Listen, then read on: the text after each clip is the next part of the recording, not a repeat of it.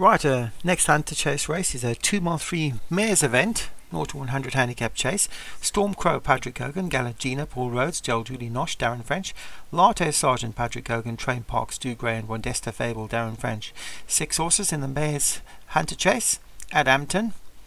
The tight track. Uh, and away they go. Wandesta Fable, Darren French, who won the last Hunter Chase, uh, leads from Storm Crow in second. Up the inside is uh, Stu Gray's Train Park. They jumper next out wide is Gallant Gina. Uh, that's Paul Rhodes's horse. And Joel Nosh for um, Darren French and then followed by Latte Sergeant for Patrick Hogan in a compact field. Only four lengths first to last as Wandesta Fable leads from Stu Gray's Train Park. Storm Crow out wide. Then comes Patrick Hogan's Latte Sergeant. Judy Nosh is on the outside of Galangina as they come to jump the next. And a slow jump in the front, a mistake in the front by Wandesta Fable allows Patrick Storm Crow and Latte Sergeant to pass him as they pass the winning post for the first time. And Storm Crow the leader from Latte Sergeant. Wandesta Fable is back in second in third. Uh, bad mistake by Train Park, loses a few lengths of the field. Jalduli Nosh is in fourth. Uh, fifth place is Galangina, and Train Park has dropped to the back of the field. But it's only about eight lengths off this leader, Storm Crow. And Patrick Hogan Storm Crow jumps out well. From Modesta Fable in second. Then Latte Sergeant, uh, stable companion of the leader in the yellow colours and black cap. Uh, black cap and black sleeves of Patrick Hogan. Uh, the light yellow colours of Joel Julian Nosh, and it could be even sort of an orange yellow for um, Darren French.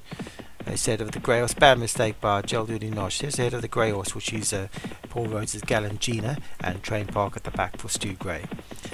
They have about 12 furlongs left to go. There's not a lot of jumping to do as Storm Crow leads from Latte Sergeant. Patrick Owen 1 2 at the moment. One Desta Fable back in third. Then comes Judy Nosh. Galangina on that one's inside. The grey horse for Paul Rhodes and Train Park at the back of the field. So all six mares are still standing in this mares hunter chase at Ampton. Uh, Storm Crow leads for Patrick Hogan. From stablemate Latte Sergeant in second is about five lengths between them. Three lengths back to Wandesta Fable in third. Then the two horses together, or the grey horse uh, Galangina, that's Paul Rhodes. On the outside of that is Joel Judy Nosh, and at the back of the field we have Train Park. So Storm Crow Patrick Hogan second, first and second year with and Latte Sergeant. Then the two Darren French horses, one Desta Fable in those white colours, the grey colours and the pink cap, and the light yellow colours, that's a Jal Julie Nosh. Uh, two lengths back to Paul Rhodes' Galangina and Train Park at the back of the field for Stu Gray. With a mile left to go, yeah? Stormcrow jumps it slowly. Bad mistake by Stormcrow and stable companion Latte Sergeant has moved up to that one side. And They go off on their final circuit with Stormcrow leading from Latte Sergeant. Julie Nosh has moved closer for Darren French. One Destafable back in the fourth. Then comes Galangino, jumps that slowly, and Train Park was a bit ponderous to the back as well for Stu Gray. So Stormcrow the leader. From Joel Judy Nosh has now moved up onto his outside. Then comes Latte Sergeant for Patrick Hogan. Uh, one Destafable and no one's inside. Slow jump again by Galangina. A uh, couple of slow jumps for that one now. And at the back of the field is Train Park.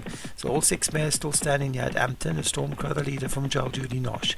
Then comes Latte Sergeant with one Destafable Fable and that one's outside. They jump the next and a great jump by Joel Judy Nosh and Darren French's Joel Judy Nosh has gone to the front. From Stormcrow in second, one Desta Fable creeping closer in third. Then comes Latte Sergeant. Galangina after some slow jump has dropped off the off these horses about three lengths adrift and Train Park is another slow jump at the back of the field. Jump is probably put to Train Park's chances. The Stormcrow and Joel Judy Nosh duel for the lead. In third is one Desta Fable travelling well. Then comes uh, Latte Sergeant. Galangina is still in some sort of a chance, uh, but needs to really get moving with three furlongs left to travel. They start to turn for home now. Stormcrow up the inside of um, Julie Nosh up the inside of Stormcrow. Then Latte Sergeant, followed by one Desta Fable. It's Julie Nosh in front for Darren French as they come to the next. Julie Nosh with two furlongs left to go jumps it well from Storm Crow in second. Latte Sergeant back in third. Then one Fable and Darren French is one. Joel Julie Nosh with one fence left to go. Looks like it's going to be a quick fire double yet. Ampton for Darren French as well. Joel Julie Nosh goes clear, three, four lengths clear from Storm Crow in second. Latte Sergeant back in third. They come to the next. He only probably has to jump it, jumps it slowly. It's Joel Julie Nosh, but there's only it's a short running, and Joel Julie Nosh wins for Darren French. Two in a row. Two. Second bumper goes to Darren French. He's won the first one, so that's two up at Hampton for Darren French. Joel Julie Nosh winning, winning from Patrick Hogan's two horses. Joel Julie Nosh wins from Storm Crow. Latte Sergeant back in third for Patrick Hogan. One Desta Fable, Darren French back in fourth, and back in fifth was Paul Rhodes's uh, Galangina.